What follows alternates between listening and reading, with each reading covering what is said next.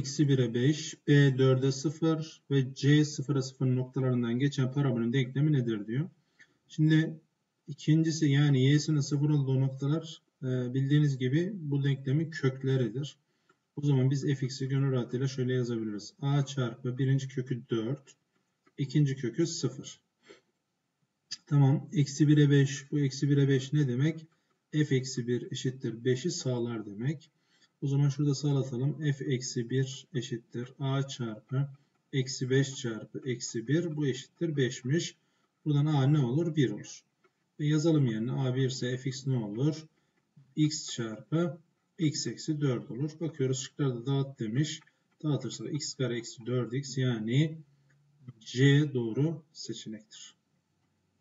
Fonksiyonun kaç farklı pozitif tam sayı değeri vardır ya da değer alabilir diyor. Şimdi burada R'yi bulalım. R eşittir eksi B bölü 2A. Bu da ne eder? Eksi 2 bölü eksi 2'den 1 eder. R'yi götürüp yerine yazalım. F R eşittir F1. Bu fonksiyonun alabileceği en büyük değerdir. Eksi 1 artı 5 yani 4. Bu fonksiyon en büyük 4 alabilir. E 3 var, 2 var, 1 var. Kaç tane? 4 tane. B doğru seçenek. Y eşittir fx parabolünün tepe noktası 1'e 3'müş. O zaman biz tepe noktasını bildiğimiz fonksiyonun denklemini yazacak olursak tepe noktası trk'sı bilineni yazacak olursak fx eşittir a çarpı x eksi r'nin karesi artı k. fx eşittir a çarpı x eksi 1'in karesi artı 3. Bu tamam. Bir de 3'e 1 noktasından geçiyormuş. Bu şu demek arkadaşlar. F3 1'e gidiyormuş. E bunu da denklemde sağlatalım. 3 yazalım. A çarpı 3 yazarsa 2 karesi 4 artı 3 eşittir 1'miş. Buradan 4A eşittir. Eksi 2. A buradan eksi 1 bölü 2. Şimdi bunu şurada bakın yerine yazalım. Eşittir. Eksi 1 bölü 2 çarpı x eksi 1'in karesi artı 3 bu sorumuzun doğru cevabıdır. Bakıyoruz hangisine uygun bize? D seçeneği bize uygun seçenektir. Y eşittir fx'in grafiği bir parabol. f0 eşittir f4 o da eşittir eksi 5. fx'in alabileceği en küçük değer eksi 9. Buna göre fx'in x eksenini x eksenini kestiği noktalardan birinin apsisini soruyor. Şimdi fx'imiz ne olsun? ax kare artı bx artı c olsun. Şimdi 0 yazınca eksi 5 eşit olursa yazalım 0'ı. f0 eşittir. ax kare şurası. 0 0 c. c demek ki eksi 5'miş. Demek ki fx'imiz şuymuş. ax kare artı bx eksi 5. E 4'ü yazınca eksi 5 eşit olacak. Onu da sağlatalım. f4 eşittir 4 yaz 16a artı 4b eksi 5 eşittir. Eksi 5. Buradan şu eksi 5'ler gider. 4b eşittir 10 eksi 16. Şöyle yapalım orayı. Eksi 16 a olur. b buradan eksi 4 a'dır. Bir dursun bakalım. Tamam. fx'in alabileceği en küçük değer eksi 9. Yani bu şu demek.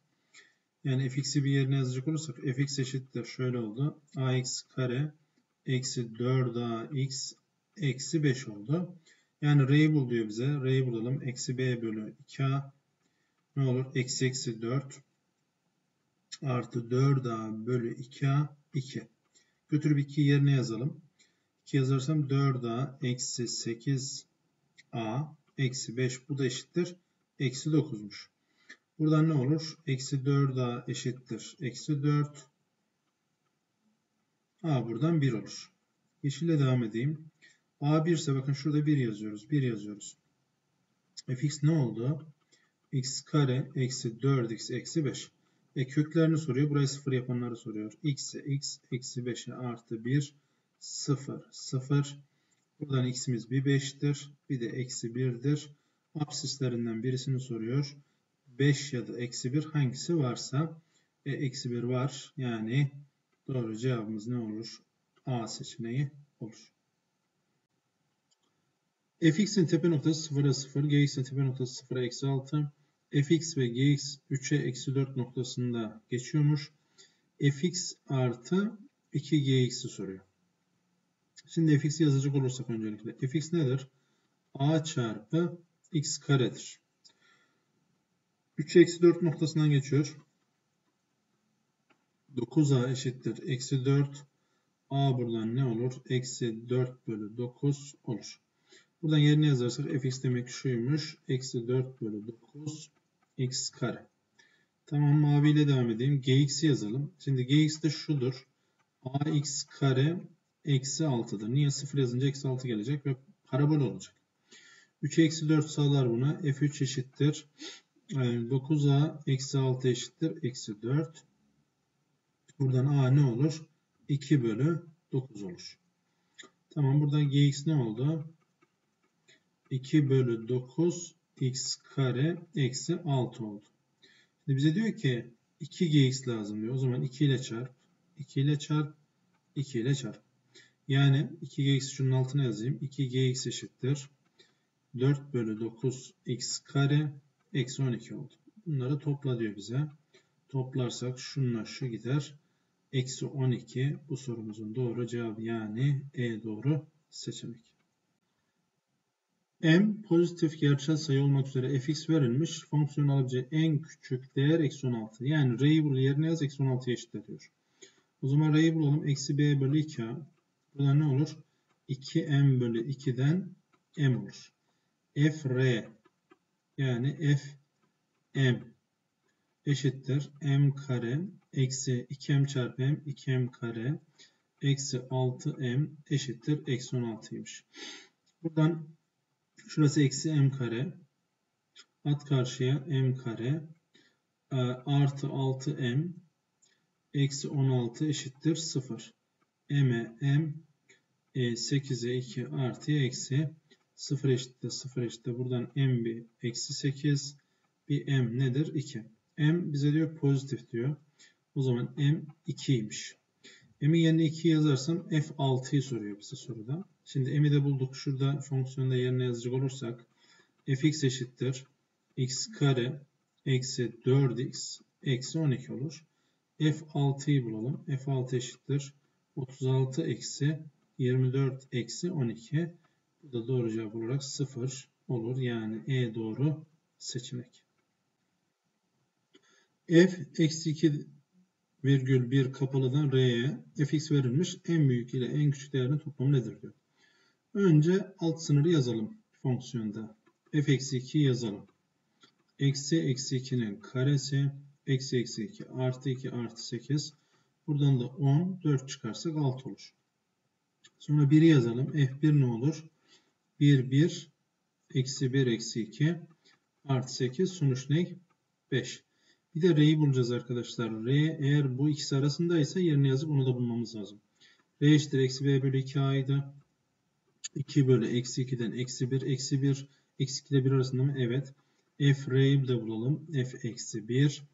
Eksi 1 yazarsa karesi eksi 1 artı eksi 1 artı 2 artı 8. Bu da ne eder? 9. En büyük değer. Bunun içinde en büyük değer ne? 9.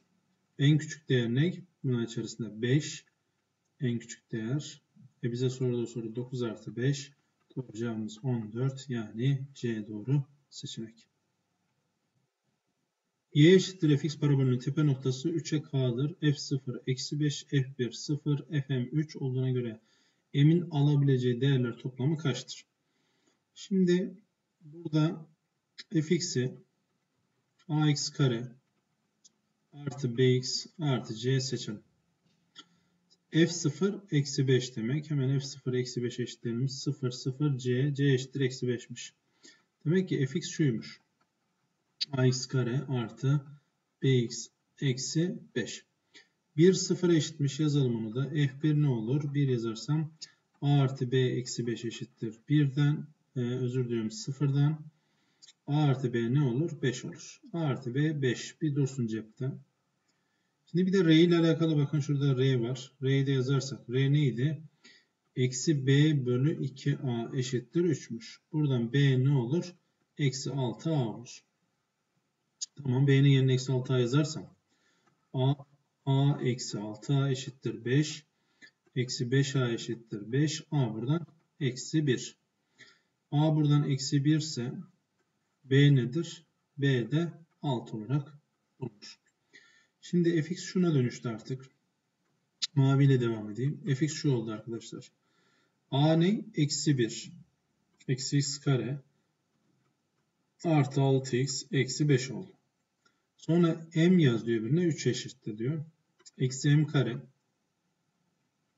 artı 6m eksi 5 eşittir 3. Buradan eksiyle çarparsak bir m kare eksi 6m artı 5 e, eksi 3 atınca karşıya artı 3 eşittir 0. Buradan m kare eksi 6m artı 8 eşittir 0.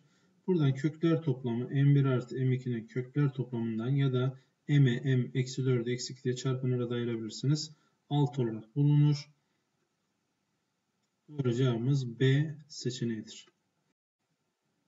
Aşağıda fx ve gx parabolleri verilmiş. fx eşittir 2 bölü 3 parantez içinde x artı 3'ün parantez karesi olduğuna göre gx parabolünün denklemi nedir?